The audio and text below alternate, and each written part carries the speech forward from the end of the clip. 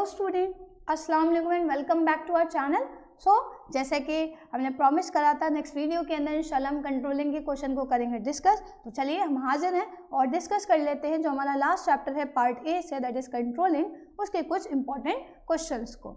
चलिए without wasting any further time topic पर आते हैं मेन और क्वेश्चंस को करते हैं discuss so the first question is which are the following is not an importance of controlling function इनमें से कंट्रोलिंग फ़ंक्शन का कौन सा इंपॉर्टेंस नहीं है? Option A it ensures order and discipline right अगर कंट्रोलिंग होगी तो ऑर्डर एंड डिसिप्लिन इंश्योर करना पॉसिबल uh, होता है या ऑर्डर एंड डिसिप्लिन को इंश्योर करने में हेल्प करती है कोऑर्डिनेशन को रिस्ट्रिक्ट करेगी. क्या राइट रिस्ट्रिक्ट नहीं. कंट्रोलिंग से तो कोऑर्डिनेशन होगा ना? Coordination between actual performance and standard performance तो यही क्या है? इंपॉर्टेंस नहीं है। क्योंकि आगे देखो, हम एक्यूरेसी जो है स्टैंडर्ड की वो किसकी मदद से मेज़र कर पाते हैं? प्लानिंग की जो एक्यूरेसी है वो किसकी मदद से या किसकी एक्शन में क्या बेसिस पर हम मेज़र कर पाते हैं। कंट्रोलिंग के ना? एम्प्लॉय को मोटिवेट करती है यस बिल्कुल। If the actual performance is we can say generally is going according to the plan और पर द स्टैंडर्ड तो क्या कर जाएगा? एम्प्लॉयज़ को मोटिवेट नहीं जाएगी तो अभी उनको एक्चुअली पैम्पर करा जाएगा मोटिवेट करा जाएगा। तो ये सारी इंपॉर्टेंस है except it restrict coordination in action okay now question number two इनमें से कौन सा स्टेटमेंट ऐसा है जो प्लानिंग एंड कंट्रोलिंग की रिलेशनशिप को हाईलाइट नहीं कर रहा? एज वी नो कि प्लानिंग एंड कंट्रोलिंग में एक काफ़ी कैन से स्ट्रॉन्ग रिलेशनशिप है बिकॉज़ ये दोनों फ़ंक्शन एक दूसरे से interrelated and interdependent या इंटर कनेक्टेड हम कह सकते हैं क्योंकि ये पहला फ़ंक्शन जहाँ पर हम स्टैंडर्ड सेट करते हैं और ये लास्ट जो फ़ंक्शन है हमारा कंट्रोलिंग में हम मेजर करते हैं कि जो भी हमने स्टैंडर्ड सेट करे थे कि कंपनी एक्चुअल में स्टैंडर्ड को अचीव कर पाई है या नहीं। क्योंकि जितने भी हमने स्टैंडर्ड सेट करा है, वो प्लान उसके रिगार्डिंग जितनी बनाए हैं प्लानिंग के अकॉर्डिंग ही सारी एक्टिविटी या सारे बाकी के फ़ंक्शन परफॉर्म करें मैनेजर फ़ंक्शन तो ये जानना बहुत ज़रूरी होता है कि क्या हमारी प्लानिंग रिजल्टफुल रही है या नहीं रही। तो एक्चुअल में क्या इसलिए इन दोनों फ़ंक्शन में काफ़ी स्ट्रॉन्ग या कह सकते हैं डायरेक्ट रिलेशन देखने के लिए मिलता है। हालाँकि वैसे सारे फ़ंक्शन प्लानिंग के अकॉर्डिंग बनाए जाते हैं, लेकिन प्लानिंग की एक्यूरेसी को मेजर करने में हमारी कंट्रोलिंग मदद करता है। तो बताना है उसी लिहाज से कि प्लानिंग एंड कंट्रोलिंग के बीच जो रिलेशनशिप है, उसमें कौन सा पॉइंट नहीं है रिलेशनशिप का। प्लानिंग एंड कंट्रोल है separable twins of management separable मतलब अलग कर सकते हैं, ठीक है? सेपरेट करा जा सकता है प्लानिंग एंड कंट्रोल को नहीं। यही एक्शन में क्या है? रिलेशनशिप को हाईलाइट नहीं कर रही है तो इनसेपरेबल ट्विंस है। इनको अलग नहीं कर सकते बिकॉज़ अगर दोनों अलग अलग हो गए तो दोनों बिल्कुल मीनिंगलेस हो जाएँगे यूजलेस हो जाएँगे, ठीक है? ये क्या है? कैरेक्टरिस्टिक या रिलेशनशिप को जो प्लानिंग एंड कंट्रोलिंग के बीच उनको हाईलाइट नहीं कर रहा। बाकी ये देखो प्लानिंग विदाउट कंट्रोलिंग मीनिंगलेस ज़ाहिर सी बात है ठीक है बिना कंट्रोलिंग के प्लानिंग मीनिंगलेस है और बिना प्लानिंग के कंट्रोलिंग ब्लाइंड है। बिकॉज़ कंट्रोलिंग में हम क्या कर रहे हैं? एक्चुअल परफॉर्मेंस को किसके अगेंस्ट मेजर कर रहे हैं? स्टैंडर्ड और स्टैंडर्ड कहाँ बनाते हैं, कहाँ सेट करते हैं? प्लानिंग में। Planning is perspective whether controlling evaluative planning में परसीव करते हैं फ्यूचर के रिगार्डिंग ज़ाहिर सी बिल्कुल सही बात है कंट्रोलिंग में इवेल्युएशन चेकिंग होती है एनालिसिस होता है कंपेरिजन होता है, चीज़ों को कैलकुलेट करा जाता है। Planning and controlling interrelated and interdependent है यस बिल्कुल, ये तीनों पॉइंट रिलेशनशिप को हाईलाइट कर रहे हैं except point number A that is there separable twins हालाँकि क्या है ये इनसेपरेबल ट्विंस है। और question number three Om Prakash ने एक छोटा बिज़नेस यूनिट एक्चुअल में क्या है। डिटर्जेंट की मैन्युफैक्चरिंग का सेटअप करा है अपने डिटर्जेंट को लोकल रेजिडेंशियल एरिया में बनाने के लिए। उसने एक दस सेल्समैन की टीम टीम को अपॉइंट करा है। हर सेल्समैन को एक्चुअल में कम से कम 200 यूनिट ऑफ़ डिटर्जेंट एक हफ़्ते के टाइम में सेल करने की एक एक्सपेक्टेशन के अकॉर्डिंग टारगेट दिया जा रहा है। तो बताइए, यहाँ कंट्रोलिंग का कौन सा इंपॉर्टेंस हाईलाइट हो रहा है? It helps in judging accuracy of standard it ensures efficient use of resources it helps in improving employee motivation it facilitates coordination in action बताइए तो क्या करा जा रहा है? एक्सपेक्ट करा जा रहा है कि 200 यूनिट्स बेचे जाएँ। तो हर किसी को एक पहले ही टारगेट असाइन कर दिया गया ताकि एक सेल्फ मोटिवेशन रहे। हर किसी को पत, मतलब हर एक सेल्समैन को पता है कि एक हफ़्ते के अंदर 200 यूनिट बेचने हैं। तो उसके पास खुद एक स्टैंडर्ड है और वो उस स्टैंडर्ड को अचीव करने पर काम करेगा। उसको देखकर खुद मोटिवेट होगा कि अगर एक दिन में मान लो दस ही यूनिट बेचे तो वो अपनी मेहनत बढ़ाएगा कि नहीं? अब बाकी छः दिन में एक्चुअल में क्या करने हैं मुझे? एक सौ नब्बे यूनिट और बेचने हैं। तो क्या करता है ये? Times in improving employ motivation ये स्टेटमेंट किसको हाईलाइट कर रहा है? कि कोऑर्डिनेशन कंट्रोलिंग क्या करती है? मोटिवेशन को इम्प्रूव करने में एम्प्लॉय मोटिवेशन को इम्प्रूव करने में मदद करती है।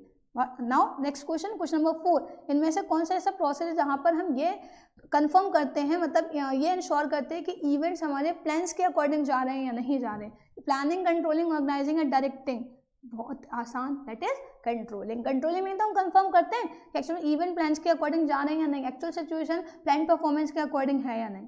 Now question number five controlling function कौन परफॉर्म करता है? Top level lower level middle level या ऑल ऑफ़ दी अब हम अच्छे से जानते हैं, सारे के सारे फ़ंक्शन कॉन्टीन्यूस हैं जो एक सिमिलर कैरेक्टरिस्टिक है, हर एक फ़ंक्शन ऑफ़ मैनेजमेंट में कि एक कॉन्टीन्यूस एंड परवेसिव है, क्योंकि मैनेजमेंट में कॉन्टीन्यूस एंड परवेसिव है।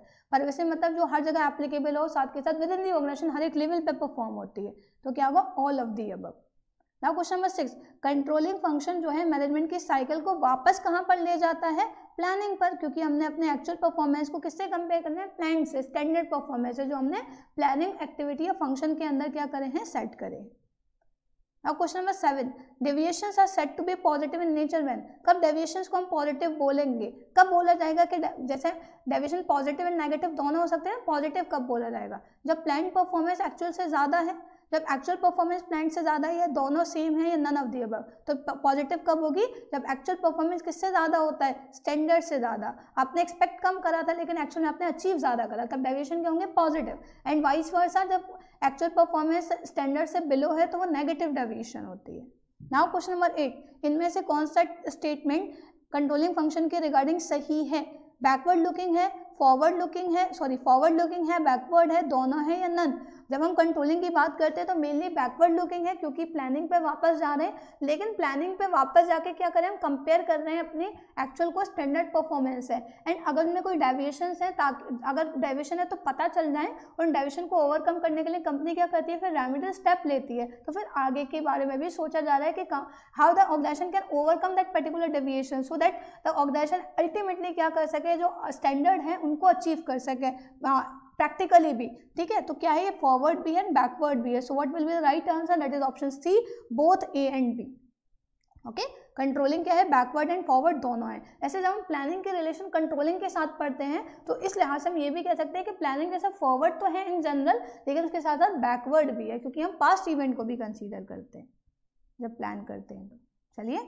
Now the next question is Now, we have to identify what is the correct sequence of step involved in the controlling process. Controlling process में का जो process है, उसके सही स्टेप पता लगाने। सबसे पहले क्या होता है? हम क्या करेंगे? हमें सबसे पहले हम एक्चुअल परफॉर्मेंस को किसके अगेंस्ट मेजर करें? स्टैंडर्ड तो सबसे पहले तो स्टैंडर्ड को हमें सेट करना पड़ेगा ना? तो क्या होगा? Setting performance standard option C में यही चीज़ पता चल रही है। फिर हम एक्चुअल परफॉर्मेंस को मेजर करेंगे देन कंपेयर करेंगे दोनों का। फिर डिविएशन को एनालाइज करेंगे देन उनको ओवरकम करने के लिए करेक्टिव एक्शन लेंगे। Option C will be the right answer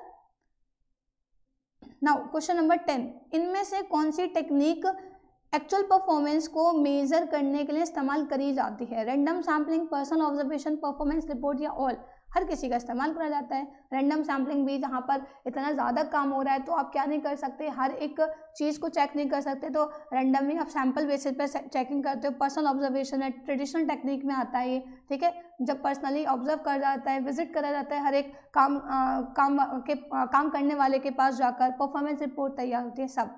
question eleven जब हम एक्चुअल परफॉर्मेंस को प्लान से कंपेयर करते हैं with the plan becomes easier ठीक है? तो कंपेरिजन कब आसान होगा? जब स्टैंडर्ड कैसे फॉर्म में सेट हो? क्वालिटेटिव क्वांटिटेटिव या इधर या बोथ ऑफ़ दी अबव या नन ऑफ़ दी अबव जब किसमें सेट होंगे? क्वांटिटेटिव एस्पेक्ट में, ठीक है? किसमें होंगे? क्वांटिटेटिव नंबर्स में क्वांटिटी में होंगे। तब कंपैरिजन करना ईजी होगा। So option B will be the right answer now question twelve जो कॉन्सेप्ट है कंट्रोल मैनेजमेंट का ये किस आ, इस पर बिलीव है? That if you try to control everything you may end up controlling nothing अगर आप सारी चीज़ों को कंट्रोल करने की कोशिश करोगे तो अल्टीमेटली आप किसी भी चीज़ को कंट्रोल नहीं कर पाओगे. ये कंट्रोल मैनेजमेंट का कॉन्सेप्ट है और ये कॉन्सेप्ट मतलब इनमें से कौन सा कॉन्सेप्ट कहीं ना कहीं इस बिलीव पर बेस्ड है? That if you will try to attempt each and everything then you will be able to control nothing ये कौन सा कॉन्सेप्ट है? M B E that is management by exception okay now question number thirteen जब deviations जो है actual and plan performance के बीच वो लिमिट्स के अंदर होगी, ठीक है?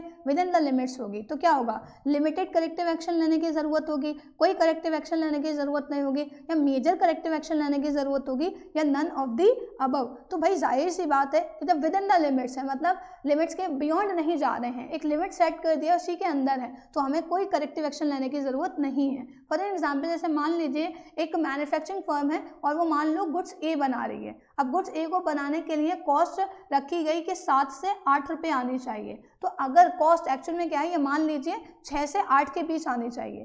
तो अगर जो एक्चुअल में क्या है कॉस्ट है, वो सवा छः हो गई, कोई विद इन द लिमिट है ना, आठ से ज़्यादा नहीं चाहिए, कोई दिक्कत नहीं है। साढ़े सात हो गई, कोई दिक्कत नहीं। पौने आठ हो गई, कोई दिक्कत नहीं। आठ है, कोई प्रॉब्लम नहीं। आठ से सवा आठ हो रही है, ठीक है? या आठ रुपये एक्चुअल में क्या है? दस पैसे हो रही है, जितना भी इंक्रीमेंट आठ से अबव हो रहा है तो उसके लिए करेक्टिव एक्शन लेने की ज़रूरत है। विद इन द लिमिट है तो कोई करेक्टिव एक्शन लेने की ज़रूरत नहीं होगी। Now question number fourteen. एक आर्टिफिशियल प्लांट्स मैन्युफैक्चरिंग यूनिट है। उन्होंने एक स्टैंडर्ड आउटपुट अपने वर्कर्स के लिए सेट कर दिया कि हर एक वर्कर एक दिन में पचास यूनिट बनाएगा। दिनेश ने फोर्टी एट यूनिट बनाए हैं। बताइए वैल्यू ऑफ़ डेविएशन कितनी है? स्टैंडर्ड से कम बनाए ना? स्टैंडर्ड परफॉर्मेंस क्या है? एक्चुअल परफॉर्मेंस के कंपेरिजन स्टैंडर्ड परफॉर्मेंस ज़्यादा है एक्चुअल परफॉर्मेंस स्टैंडर्ड से कम है। कितना कम है? माइनस टू नेगेटिव डेविएशन है। वो कितना? माइनस टू ओके ना बहुत ईजी था। Need for controlling function is felt in जो ज़रूरत है कंट्रोलिंग फ़ंक्शन की वो किसमें अराइज होती है? बिज़नेस में बिज़नेस ऑर्गेनाइजेशन में पॉलिटिकल में सोशल में या ऑल हर ऑर्गेनाइजेशन में ज़रूरी होगी क्योंकि परवेसिव है। ठीक है? हर एक ऑर्गेनाइजेशन में कंट्रोलिंग जो उन्होंने टारगेट सेट करा है एक्चुअल में वैसे जा रहा है या नहीं इलेक्शंस के टाइम पर भी होता है सोशल ऑर्गेनाइजेशन भी ऐसा करती है तो हर ऑर्गेनाइजेशन में ज़रूरत होती है।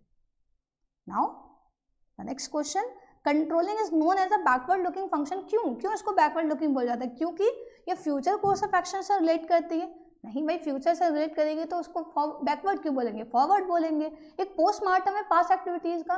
बिल्कुल जो पास्ट में हम तय कर चुके हैं ना स्टैंडर्ड वापस वहीं जा रहे हैं। वापस उन्हीं एक्चुअल में क्या है? चीज़ों को हम खंगाल रहे हैं, देख रहे हैं। तो क्या एक टाइप का पोस्टमार्टम है। इसलिए इसको बैकवर्ड लुकिंग बोला जाता है। या ये फाइंड डेविएशन फाइंड आउट करना ताकि इम्प्रूव कर सके फ्यूचर को तो अभी तो ये बैक फॉरवर्ड को ही क्या करिए रिप्रेजेंट कर है तो इनमें से कौन सा एक्चुअल में बैकवर्ड लुकिंग फ़ंक्शन को रिलेट कर statement it is like a postmortem of the past activities Now question number 17, reducing the workers absentees in the factory by 20 percent is an example of.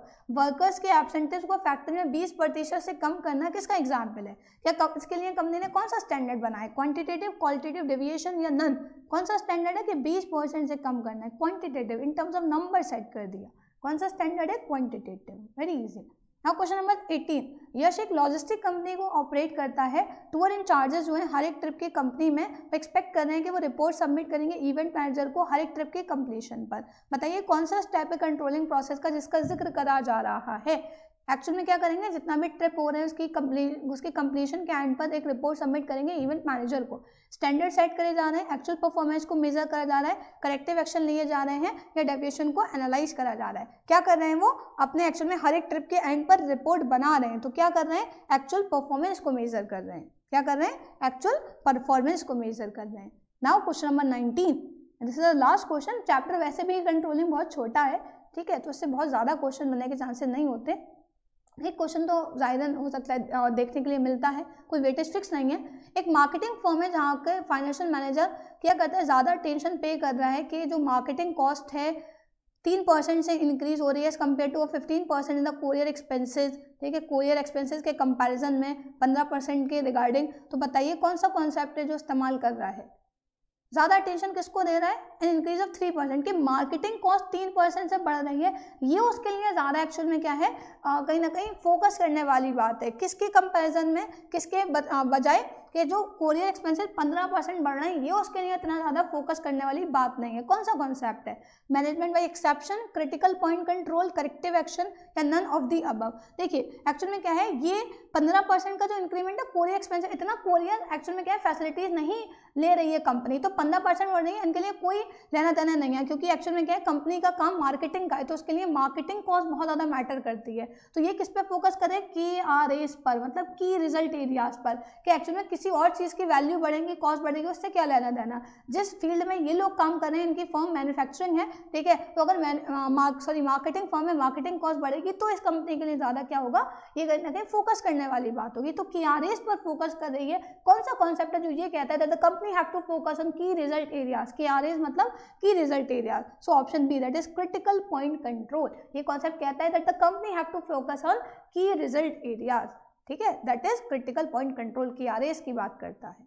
तो option क्या होगा? Option B that is critical point control so ये थे controlling के कुछ question chapter वैसे भी बहुत छोटा सा है और जितने क्वेश्चन इंपॉर्टेंट बन सकते थे, वो एक्चुअल में क्या है यहाँ? क्वेश्चन आपके पास, आपके प्रैक्टिस के लिए हैं ओके और जैसा कि मैंने बताया ऑलरेडी अपलोडेड भी हैं विद देयर आंसर की तो एक्शन में क्या है वहाँ से और प्रैक्टिस कर सकते हो एक बार खुद अटैम्प्ट कर सकते हो। आई होप कि सारी चीज़ें आपकी क्लियर हो हुई हो क्योंकि दोनों पार्ट हम कंप्लीट कर चुके हैं पूरी बिज़नेस स्टडीज़ कंप्लीट हो गई हैं। सैंपल पेपर्स भी आपको ऐप पर प्रोवाइड करे जा रहे हैं प्रैक्टिस करिए पार्टिसिपेट करिए ठीक है? जितना प्रैक्टिस करेंगे उतना कॉन्फिडेंस आएगा। एंड इनशाला आई होप इन प्रे कि एक्शन में सबको कामयाबी मिले। बस आप अपनी मेहनत को uh, बिल्कुल uh, ढीला ना करें। प्रॉपरली मेहनत करते रहें क्योंकि क्योंकि एक्चुअल में क्या है बिल्कुल ऑलमोस्ट टाइम जनरली क्या है आ ही गया है एंट्रेंस का। तो बट लगे रहिए मेहनत करिए इंशाल्लाह मेहनत करेंगे। तो जैसे मैंने प्रीवियसली भी बोला आपको इंशाल्लाह सक्सेस ज़रूर मिलेगी। Thanks for joining with the student और एक्शन में जो भी आपके और फ्रेंड्स हैं आप उनको भी शेयर करिए।